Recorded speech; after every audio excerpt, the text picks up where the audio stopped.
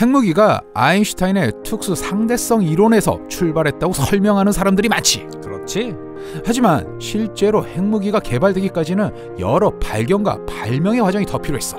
아, 이번에는 실제로 핵무기 개발이 어떤 사람들을 통해 어떻게 진행됐는지 이야기해보자. 대표적인 예가 독일의 오토 한이 1938년에 진행한 우라늄 235의 핵분열 실험이지. 감속재를 거쳐 느려진 중성자를 우라늄 235에 충돌시키는 실험 말이야. 오토 한은 실험에서 우라늄 235의 원자핵에 느린 중성자가 충돌하면 우라늄 235가 바리움과 크립톤으로 분열되는데 이 분열 과정에서 일부 질량을 이루면서 질량에 해당하는 에너지를 발산한다는 사실을 확인했지. 그리고 이 바리움, 크립톤과 함께 배출되는 두세 개의 중성자가 주 변의 우라늄 235와 충돌하면 연쇄적인 핵분열이 일어나게 되지. 이게 원자폭탄의 기본 원리잖아. 여기서 주목해야 할 부분은 이 발견이 1938년 독일에서 이루어졌다는 부분이야. 나치가 한창 오스트리아나 체코를 집어삼키던 시절이지. 전쟁을 준비하던 파시즘 국가에서 이런 엄청난 에너지원이 발견됐으니 무기로 연구되는 건 당연한 수순이었지. 나치는 오토 한이나 하이젠베르크 같은 물리학자들을 소집해서 이 안건을 검토했고 실제로 핵 분열을 사용한 무기를 만들 수 있다는 결론에 도달하자 본격적인 개발에 착수했어. 최초의 핵무기 개발 계획은 이 독일에서 시작됐다 이거네. 아이 그렇지. 그럼 다른 나라들은 오토 한의 실험 이전부터 웰즈처럼 원자 에너지의 무기화를 구상한 사람들은 많았어. 이 방법을 몰랐을 뿐이지. 오토한의 실험 이후에 다들 방법을 알게 됐잖아. 그래서 영국도 프랑스도 소비에트도 일본도 2차 세계대전 중에 핵무기를 연구했어. 최초의 핵무기를 만든 미국은 아니, 나치의 박해를 피해서 미국으로 이주한 학자들은 오토한의 발견을 듣자마자 나치는 분명 폭탄을 만든다라고 확신했지.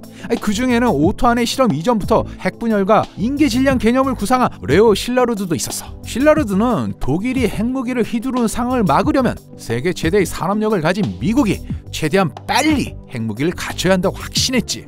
그렇게 서두를 이유가 있었을까? 아니, 당시 관점에선 그래야 했어. 오토한이나 하이젠베르크 같은 학자들이 있고 호전적인 정부가 통치하고 체코로스에서 유럽 최대의 우라늄 광산까지 점거한 나라가 독일이잖아. 아 이게 외부에선 이 핵무기 개발에 필요한 모든 조건을 다 갖췄다고 볼 수밖에 없었겠네. 그래서 실라르드는 은사인 아인슈타인 이름을 빌려서 루즈벨트 대통령에게 핵무기를 개발해야 한다는 편지를 보냈어. 이게 그 유명한 아인슈타인 실라르드 서신이야. 아인슈타인이 보낸 편지로도 굉장히 유명한데 실질적으로는 이 실라르드가 작성했었구만. 그래서 이 편지가 미국의 핵무기 개발, 즉 맨해튼 프로젝트의 직접적인 계기가 된 건가?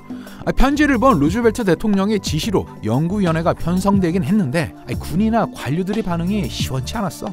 아, 결국 실질적인 개발은 1941년 12월에 진주만이 공습당하고 독일과 이탈리아의 선전포고를 받고 망명자를 통해 독일의 핵무기 개발 정보를 다 접한 뒤에 시작됐지. 결국 미국의 맨해튼 프로젝트는 독일의 우란 프로젝트보다 2년 이상 늦었다는 건데 그러면 먼저 시작한 독일이 시간을 허비한 즉 미국에게 따라잡힌 이유가 뭐지? 핵 분열 현상을 입증했지만 아, 이걸로 무기를 만들려면 아, 연쇄 분열이 실제로 일어나는지 인계 질량은 얼마인지 원자로를 만들어 입증해야 하거든. 아, 이 단계에서 독일은 별 진전이 없었어. 개발 착수는 독일이 훨씬 빨랐는데 뭐 도입부터 막혀버렸다 이거야? 아, 일단 투자가 부족했지. 아니, 독일 군부는 전쟁에서 계속 승리하는 동안은 아니, 전쟁이 금방 끝날 테니 천문학적인 자원을 퍼먹는 우란 프로젝트는 나중에 해도 된다고 생각했고 전황이 밀릴 때는 당장 급한 무기부터 만들어야 한다면서 뒤로 밀어버렸거든.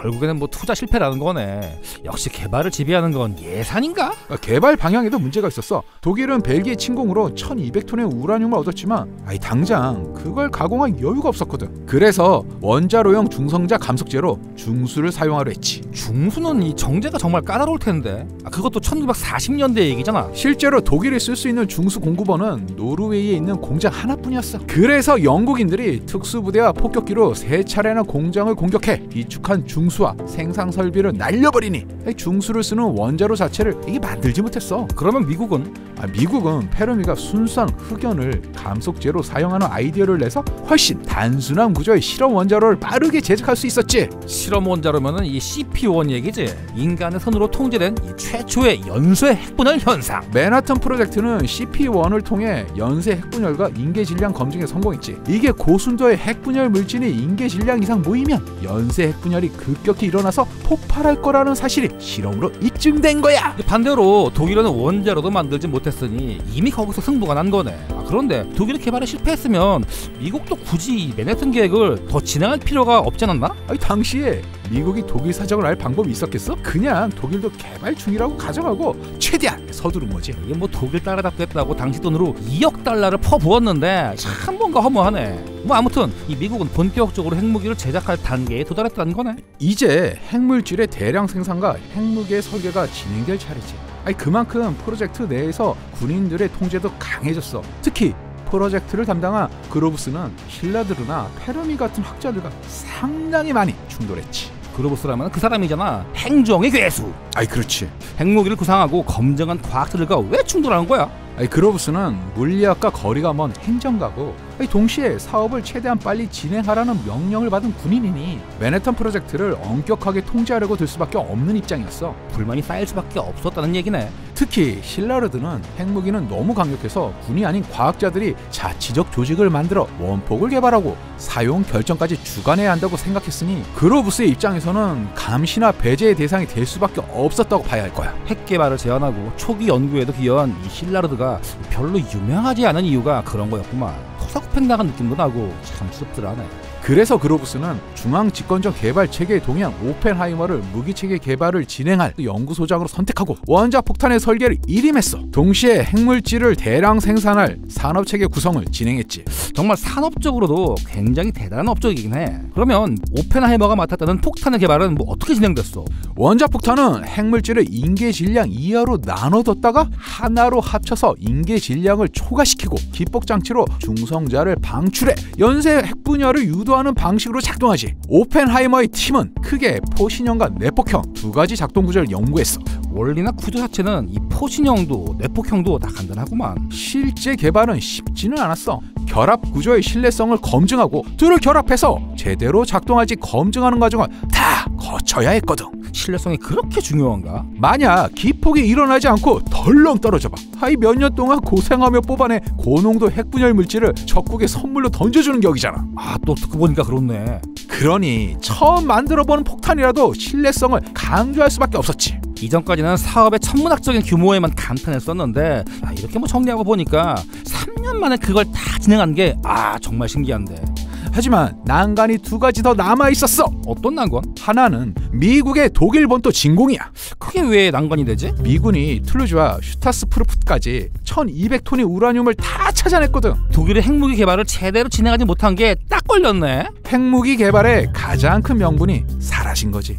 아니 게다가 전쟁도 막바지라 독일에 억지로 핵무기를 사용할 이유도 없었던 거야. 뭐 하지만 그럼에도 불구하고 이 핵 개발은 계속했잖아. 이미 개발과 생산이 막바지 단계라 매몰 처리할 상황이 아니었지. 그러면 두 번째 난관은 뭐야? 실제 폭발을 검증하는 거지. 나왔구만 트리니티 실험. 원자 폭탄의 작동은 원자로를 통해 검증했지만 실제로 위력이 어떨지는 개발자들 사이에서도 의견이 분분했어.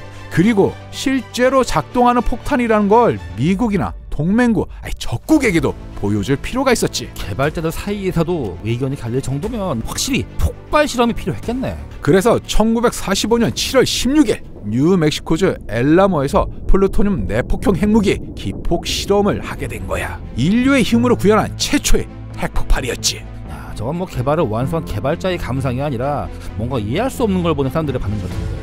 실험을 참관한 학자들이 단체로 무기력증에 빠질 지경이었으니 저런 감상이 나올 만도 하지. 아무튼 페르미는 나부로 차폐막을 씌운 전차를 타고 기폭 지역에 직접 들어가서 토양 샘플을 채취하고 위력을 계산했어. TNT 18,600톤의 폭발에 필적하는 위력이었지. 인류는 핵무기를 가지게 된 거야.